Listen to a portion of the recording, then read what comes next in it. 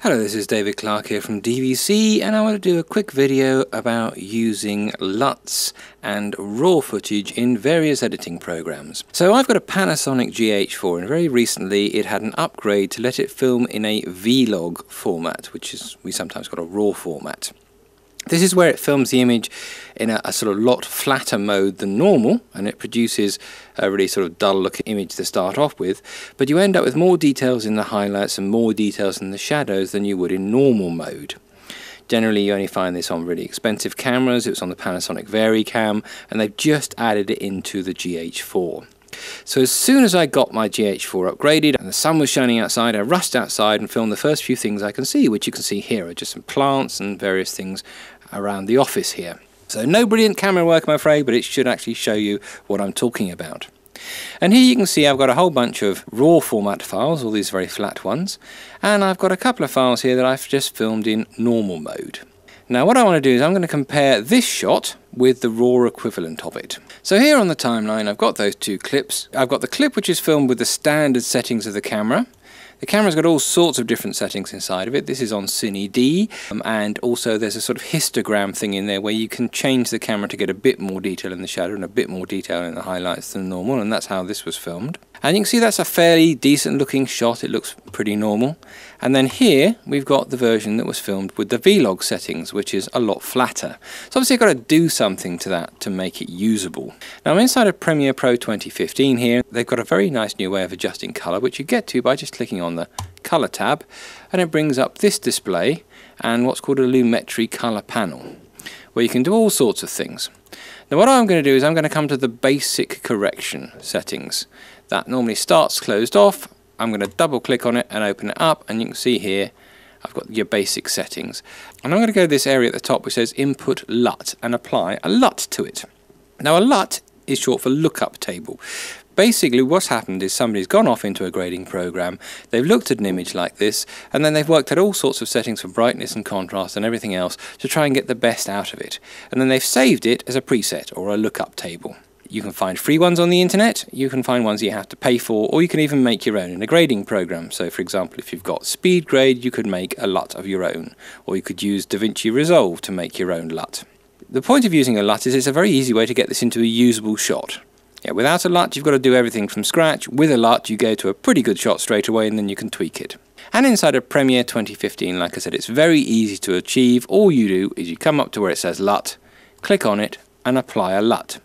You can see I've got a bunch of different LUTs here, which are the ones that come with it. They're all for different cameras, and as you can see, none of them really do much good here. What I'm going to do instead of using one of theirs, I'm going to bring in one that I've actually downloaded. So I'm just going to click on Browse, go to where I saved the LUT and click on this cube file.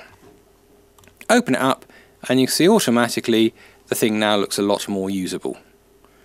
Now I might want to add a bit more contrast, I might want to tweak it a bit, but it's gone from being completely flat to nice and usable. And if I pop back to the editing mode and compare that, you can see this is the, the raw version with the LUT, and this is the normal version filmed not in the Vlog mode and they're fairly similar. Obviously the contrast is a bit different colors a bit different. I can tweak all that. You know I can come into the color settings here and maybe add in a bit more contrast to this. Maybe bring down the highlights a bit. Fiddle with the whites make the whole thing a little bit brighter make the blacks a bit darker. Add in a bit more color maybe open up the color wheels make the midtones a bit yellow yeah generally play around to your heart's content. But it started by putting a LUT on there if you've got an early version of Premiere, like you're using CS6 because maybe you don't want to go onto the Creative Cloud, then you won't be able to apply LUTs, so you'll have to do it from scratch. So rather than using this Lumetri effect, I'm going to go into the list of effects down here, just try something like a fast color corrector, throw it onto the clip, adjust the levels a bit, so let's make the whole thing a bit darker, maybe bring up the mid-tones, add in a bit of saturation, or you know, use the three-way color corrector. Basically the same you would on any shot, you've just got a little bit more fiddling to do because you're starting off with a very flat image. LUTs are easier, but you don't actually need them. This particular shot is not a very brilliant cinematic shot, but it does actually show you what the difference is really between using a RAW format file or a Vlog file and a normal file. So here, I've just stuck the two next to each other. This is the original shot filmed with the standard camera settings. This is the shot that's been filmed in V-log with a LUT on it. And I think the area of the roof on the house here really shows off the difference between filming in a RAW format or a vlog format and normal. I was in an area of shadow filming out into very bright sunlight and you can see the roof here is completely blown out. Whereas the roof here has got detail on it. Now you might say, well, okay, a bit blown out, but surely you can do something to that. You go to the colour panel, and this time I'm going to take the shot here, which is the one filmed in the normal way, and maybe I'm going to bring down the highlights a bit, or bring down the whites a bit, and up the shadows, and, and fiddle with it to get the detail back in that roof. Well, the truth is you can't. The detail isn't there. The detail is there in the other shot. I can add more contrast into that. I can brighten the whole thing up. I can change the shadows. Just looking at that, there's still detail. Even though I've put a lot of contrast and brightened it up an awful lot, I've still got detail in the roof there, which I don't have in the roof on the normal shot. That's kind of the point of Vlog. You get more out of it. So in Premiere 2015, very easy.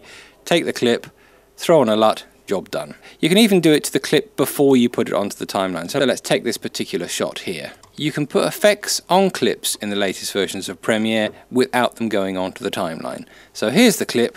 I'm just going to find the Lumetri effect from that, throw it up into the effects window. Now because I've got a clip in the source, it's showing me the effects on the source. And from that I can open up the basic correction, choose a LUT, bang, that's now put that effect or that LUT onto that clip and no matter how many times I use it, that's already on there. So very easy to do inside of Premiere, bring it in, throw on the LUT, start editing. Because this is all done with the graphics card, as long as you've got a decent graphics card for your Mercury playback engine, you'll be able to play it back without any problems. This is all 4K footage, this is all UHD footage, which I'm playing back on the computer here. I'm using a, a single processor system. It's a Skylake system, so it's the latest kind of computer. Skylake computer with 16 gig of RAM and a fairly decent graphics card. It's got an Nvidia 970, but it's still not a system that costs the earth. And there you can see it's quite happily playing back for me some UHD footage with a LUT on it.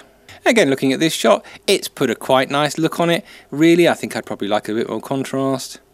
I like my blacks to be a bit blacker. I might want to bring out the shadows a bit. The LUT's a good starting point. You then fiddle with it after that to make it look how you want it to look. But that's how you'd use this kind of footage inside a Premiere.